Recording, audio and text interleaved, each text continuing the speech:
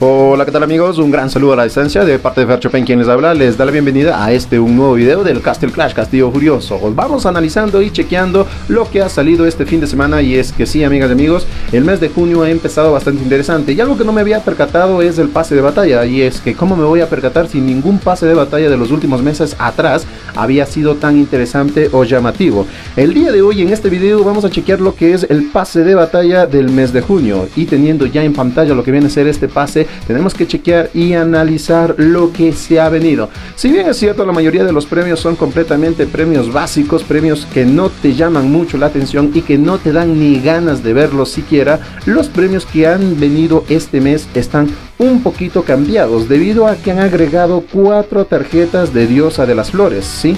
Sí, amigas y amigos, han agregado cuatro tarjetas de Diosa de las Flores en el pase de batalla del mes de junio. Como ustedes pueden ver, en el nivel número uno, pero claro, está en el pase premium, ya podrás estar reclamando lo que viene a ser Diosa de las Flores. Claro está, si tomas la decisión de comprar este pase de batalla. Pero ustedes se preguntan, pero Fercho, ¿de qué me sirve comprar el pase de batalla si los premios son completamente ñañeras? Tienes toda la razón, bro. Los premios son completamente insignificantes, digamos las cosas tal como son, porque no llama la atención el querer comprar. Como ustedes pueden ver, son premios básicos, ni siquiera son eh, cajas legendarias, ni siquiera son premios que realmente te llamen la atención y te dé ganas de comprar el pase eh, de batalla. Y la pregunta sería, ¿para qué comprar el pase de batalla? Pues bien, Diosa de las Flores es una heroína épica exclusiva de eventos dentro del juego. Y en este modo lo va, la vamos a poder conseguir 100% free, pero solamente una tarjeta de heroína. Es decir, tendrás que estar llegando al nivel 45 para poder reclamar esta heroína. Y los demás premios que vayas acumulando, claro está, para aquellos jugadores free que todavía sigan jugando este modo de juego. Sí, amigas y amigos, porque de verdad, los premios son completamente básicos, premios que los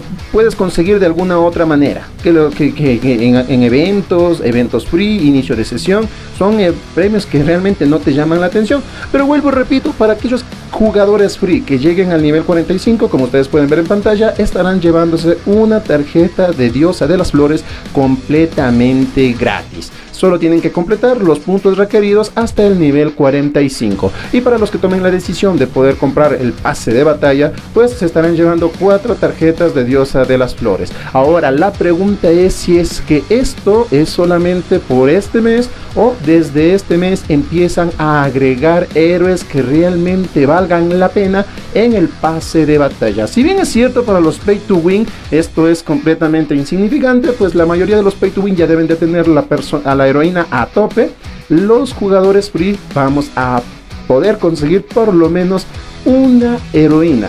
Se puede decir. Vamos a poder conseguir por lo menos una tarjeta de diosa de las flores, ya que no la habíamos conseguido. Y al ser una heroína exclusiva de eventos, se podría decir que aquí la van a poder conseguir todos los jugadores free. Por lo menos una tarjeta para poder decir, por lo menos ya la tengo. Por lo menos ya la tengo. Y el pase, pues nada más.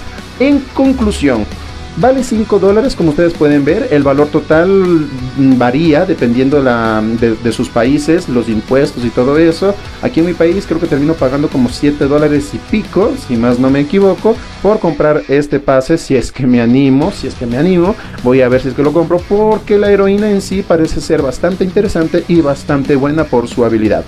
Como ustedes pueden ver, ese es el costo, terminarías pagando un poquito más, pero en sí es como 5 dólares y algo que terminas pagando, es como 6 dólares eh, dependiendo de los impuestos y todo lo demás. Eh, pero solo si es que tomas la decisión de comprarte el pase. Vuelvo y repito, los premios son completamente básicos, insignificantes, pero lo que sí llama la atención son las cuatro tarjetas de Diosa de las Flores. Los demás premios no son para nada interesantes, a excepción de la skin que también viene, sí, sí, amigas y amigos, también viene la skin de Diosa de las Flores, la cual, bueno, para mi criterio personal está bastante guay para aquellos que tomen la decisión de comprarse el pase si es que desean tener a esta heroína por lo menos en nivel 2 de evolución.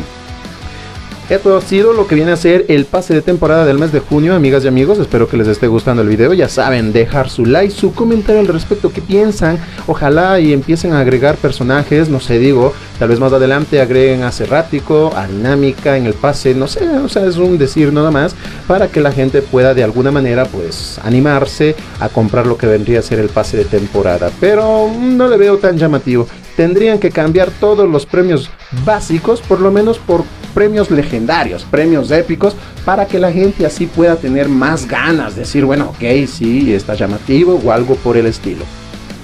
De ahí para poder completar en el modo free, para poder completar en el modo free todos los puntos, tienes que completar misiones diarias y misiones semanales. Recuerden que el pase de temporada dura un mes entero, es decir, de este pase de temporada termina a fin de, a fin de mes de este mes de junio.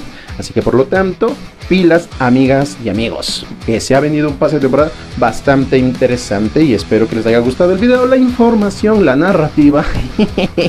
y recuerden que aquí yo soy Farcho Pain y estoy trayéndoles contenido de todo tipo de juegos que estoy jugando en mi celular. Solo juegos móviles, nada de otros juegos porque de verdad no, no, no puedo jugar otros juegos todavía. Bien, Déjame abajo en la caja de los comentarios qué piensas al respecto sobre este pase de temporada. Eh, ¿Vas a ir a comprarlo? ¿Lo has comprado? ¿Tú crees que valga la pena comprarlo? En mi criterio personal, no, no creo que valga la pena, pero sin embargo es decisión de cada uno de los jugadores. Cuatro tarjetas son muy interesantes. Quien les habló Fercho Pain y les mando un gran saludo a la distancia y nos estaremos hablando en un próximo video de Castle Clash o de algún otro juego. Nos estaremos hablando próximamente. Chau, chau, chau.